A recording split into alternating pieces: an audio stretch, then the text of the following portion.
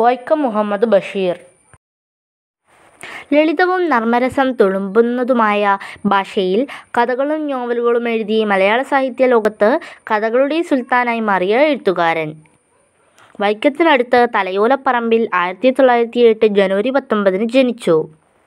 കോഴിക്കോടിനടുത്തുള്ള ബേപ്പൂരാണ് ബഷീർ കുടുംബമായി താമസിച്ചിരുന്നത്. ബേപ്പൂർ സുൽത്താൻ എന്ന അപരനാമത്തിൽ ഇദ്ദേഹം അറിയപ്പെടുന്നു. ഇന്ത്യ ഒട്ടാകെയും വിദേശ നാടുകളിലും ഇദ്ദേഹം സഞ്ചരിച്ചു.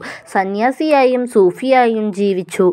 പല ഭാഷകളും ഈ കാലയളവിൽ ഹൃദിസ്ഥമാക്കി പാചകക്കാരൻ മാജിക്കുകാരന്റെ സഹായി കൈനോട്ടക്കാരൻ ഗേറ്റ് കീപ്പർ തുടങ്ങി പല ജോലികളും ചെയ്തു.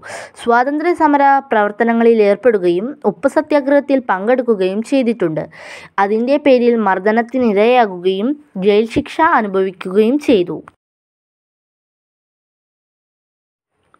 ബാല്യകാലസഖി പാത്തുമ്മയുടെ ആട് മതിലുകൾ താര സ്പെഷ്യൽസ് നേരും നുണയും ആനപ്പൂട ചിരിക്കും മരപ്പാവ ഭൂമിയുടെ അവകാശികൾ തുടങ്ങി മുപ്പത്തിരണ്ടോളം കൃതികൾ രചിച്ചിട്ടുണ്ട്. ഓർമ്മയുടെ അറകൾ ആത്മകഥാപരമായ കൃതിയാണ്. ആയിരത്തി തൊള്ളായിരത്തി എഴുപത്തിരണ്ടിൽ കേന്ദ്ര സാഹിത്യ അക്കാദമി അവാർഡ് ലഭിച്ചു. കേന്ദ്ര കേരള സാഹിത്യ അക്കാദമിയുടെ വിശിഷ്ടാംഗവുമായിരുന്നു.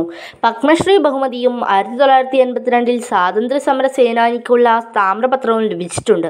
ആയിരത്തി തൊള്ളായിരത്തി എൺപത്തിയേഴ് കോഴിക്കോട് സർവകലാശാലയുടെ ഓണറ്റി ഡോക്ടറേറ്റ് ലഭിച്ചു. ആയിരത്തി തൊള്ളായിരത്തി തൊണ്ണൂറ്റിനാല് ജൂലൈ അഞ്ചിന് അന്തരിച്ചു. നന്ദി.